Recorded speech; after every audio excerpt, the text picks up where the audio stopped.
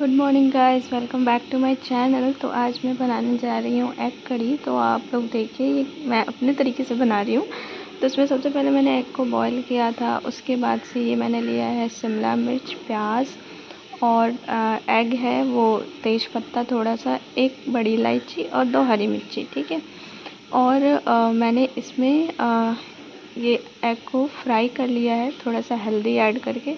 क्योंकि मैं पनीर फ्राई करूँ या एग फ्राई करूँ, मैं हल्दी ज़रूर ऐड करती हूँ। कलर अच्छा आता है। फिर मैंने ये इलायची तेज पत्ता और मिर्ची का छौका दिया। और प्याज मैंने काफ़ी कम लिया है क्योंकि मैंने प्याज और टोमेटो की प्यूरी बनाई थी। ऑनियन एंड टोमेटो प्यूरी, क्योंकि वो ज़्यादा बेस्ट होता है। तो ये मैंने ये डाला। प्याज थोड़ा फ्राई हो जाए तो tomato and onion puree add कर देना है। इसके बाद हम इसमें मसाले ऐड करेंगे, जिसमें हमारा है धनिया।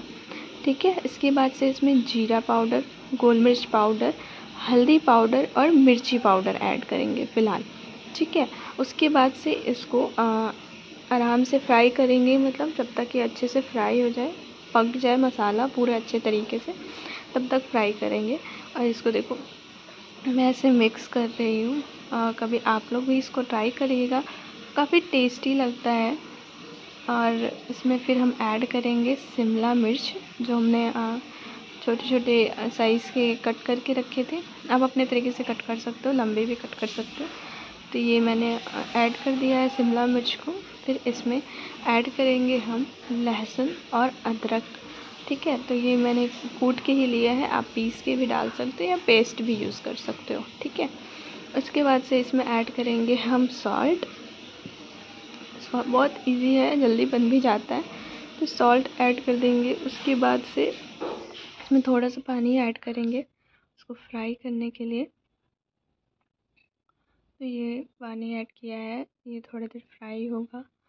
फिर उसके बाद से जब पक जाए, अच्छे से थोड़ा शिमला मिर्च भी इसमें पक जाना चाहिए। वैसे शिमला मिर्च लेट ही डालना चाहिए, क्योंकि वो एकदम ही पक जाता है। फिर इसमें हम जो अपने फ्राइड एग है, उसको ऐड करेंगे। ऐड करने के बाद देख लीजिए आपको कैसा कंसिस्टेंसी रखना है ग्रेवी का। मतलब आपको ज़्यादा थिक पसंद है तो थिक रख सकते हैं या फिर अगर थोड़ा पतला पसंद है तो पानी डाल सकते हैं।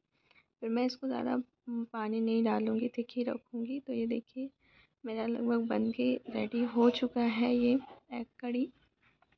अब हम इसको सर्व करेंगे राइस के साथ और ये बहुत यमी होता है। बाय मिलते हैं नेक्स्ट वीडियो में।